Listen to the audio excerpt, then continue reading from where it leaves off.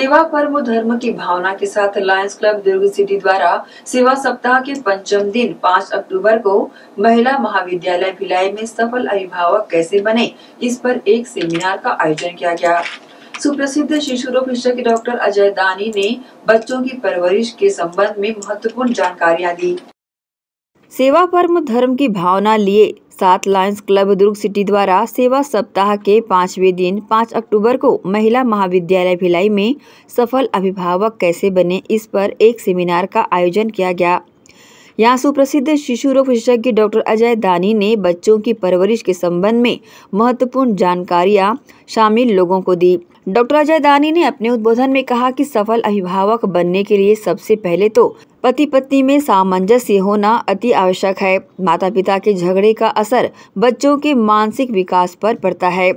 Doctor Ajay दानी ने बताया कि हर पेरेंट्स को अपने बच्चों के अंदर सकारात्मक सोच, जज्बा, स्वाभिमान, विपरीत परिस्थितियों में स्थिर बुद्धि, चतुराई एवं दूरदृष्टि, मज़बूत एवं गहरे संस्कार, आत्मविश्वास, धैर्य एवं लगन गुस्से पर नियंत्रण, लचीलापन और ईमानदारी जैसे गुण विकसित करना चाहिए।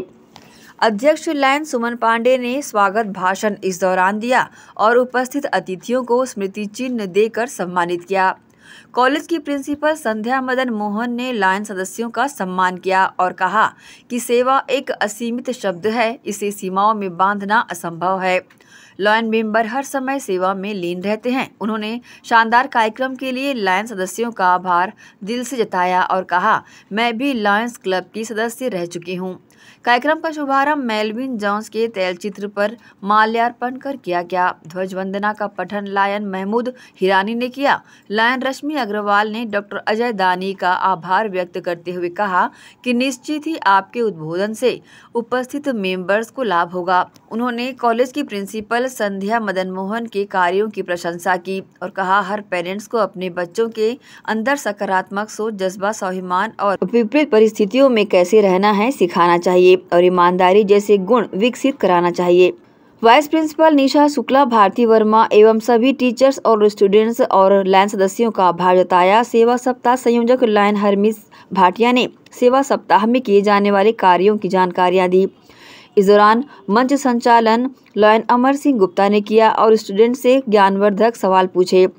सवालों के सही जवाब देने वाले छात्रों को अध्यक्ष लायन सुमन पांडे ने सम्मानित भी किया। कार्यक्रम प्रभारी लायन अंजू अरोरा थी। इस मौके पर lion SP Dulai, lion Satish Chand Surana, lion Vinod Parmar, lion Anita Tiwari, lion Anil Arora, lion Mahmood Hirani, college के टीचर्स, स्टूडेंट सहित 150 लोग शामिल रहे। को कैसे आगे बढ़ाना, ये भी माँ को या पेरेंट्स को पता होना चाहिए, वही असली पेरेंटिंग है। विज्ञान के माध्यम से तो आगे बढ़ जाएगा, पर कला के माध्यम से आपके घर से ही समाज सब चीज़ों को ले जाएगा।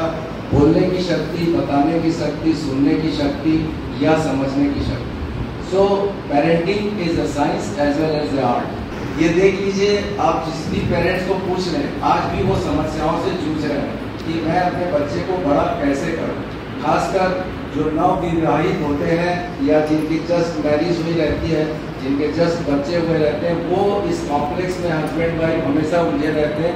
घर का कोई बताता नहीं कि इसको बढ़ाना कैसे है। आज हम उसी विषय पर चर्चा करेंगे बता सकते हैं जो भूखा इससे हो रहा है, कि वो इस कारण से हो रहा है। This is the parents duty और मदर्स ड्यूटी कि उसमें क्या प्रॉब्लम है, उसको एहसास करें और उसको दूर करें। क्योंकि ज़ीरो से फाइव ईयर्स आपको पालन पोषण करना है, ये आपको बताया गया मतलब उसमें किसी प्रकार की स्ट्रिक्टनेस नहीं लानी है। उसके में सर्च आउट करना है कि व्हाट इज़ द रीजन हो सकता है गर्मी से हो रही हो हो सकता है किसी भी चल रहा इसलिए हो रही हो हो सकता है कोई आके पेरेंट्स उसको या उसका एज का कोई बच्चा आके उसको तंग करके चला गया इसलिए अगर उस समय आप फाइंड आउट करेंगे, ऐसे एसीएन न्यूज़ के लिए शाहीन खान की रिपोर्ट।